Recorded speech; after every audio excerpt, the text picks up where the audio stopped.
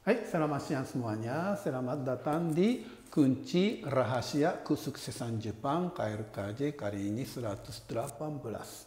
Eh, kalimat kali ini adalah fushime o tsukeru. Ya, fushime itu batasan ya. Tsukeru itu pasang ya. Tapi ya saya terjemahnya menjelaskan batasan ya.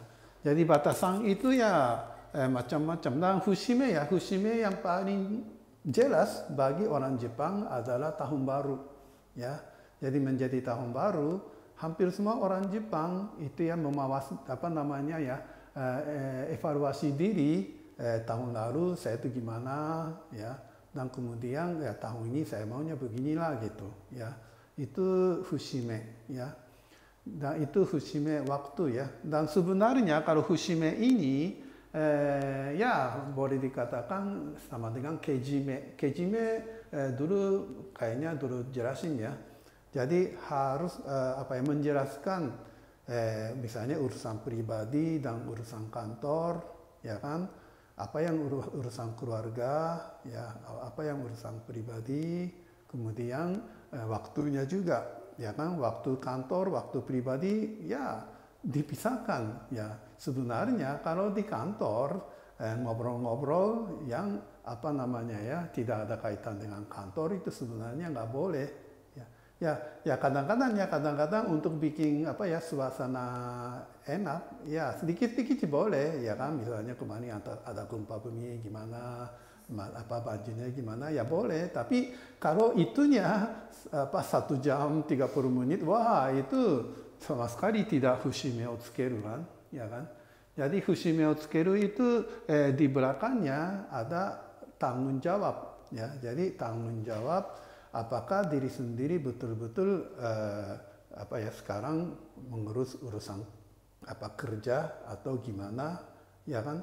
Dan juga uh, oh iya ya dulu sudah jelas nggak ya tadashi apa hitashiki naka ni mo regi ari kalau regi regi itu sopan santun ya ya walaupun merasa dekat tapi harus sopan santun juga kan. Misalnya pinjam uang ya harus kembalikan. Ya, kalau misalnya dibantu ya harus bilang terima kasih. Ya kan, itu juga salah satu fushime. Ya, jadi eh, ya fushime terjemahnya batasan tapi eh, artinya luas. Ya, dan eh, dalam arti luas itu dasarnya apa? Dasarnya tanggung jawab sendiri atau rasa terima kasih terhadap orang lain atau rasa menghormati lah ya kan? Misalnya itu kan eh, di kerja ya kan eh, tidak boleh ngobrol yang tidak ada kaitan dengan kerja ya itu tidak menghormati eh, atasannya kan? Ya kan? Tidak menghormati atasan tidak menyayangi atasan ya jadi kalau kadang-kadang ya eh, kalau bilang fushime o tsukeru atau kejime o tsukeru, itu ada yang anggap terlalu disiplin seperti robot. Terbalik, ya kan? Sebenarnya karena menghormati, karena mencintai orang lain, makanya harus bikin batas sendiri. Apa urusan pribadi, apa urusan umum, ya kan? Ya apa waktunya pribadi, apa waktunya umum, ya dan juga itu ya uh, mengkontrol diri juga ya, mengkontrolkan diri ya, mengatasi uh, urusan sendiri sendiri itu ya. Jadi uh, apa yang harus dilakukan untuk diri sendiri harus dilakukan, jangan minta-minta terus gitu. Ya, dengan begitulah sebenarnya manusia minta maju kan. Jadi manusia yang tidak maju ya boleh dikatakan manusia yang kurang menyayangi orang, kurang menghormati orang Ya bisa dikatakan begitu. Ya. Jadi ya kalau biasanya ya kalau ada urusan-urusan yang tidak senang atau urusan-urusan yang atau kejadian-kejadian yang tidak sesuai dengan keinginan sendiri, ya semua masalah kan orang lain. Tapi justru itulah merendahkan diri.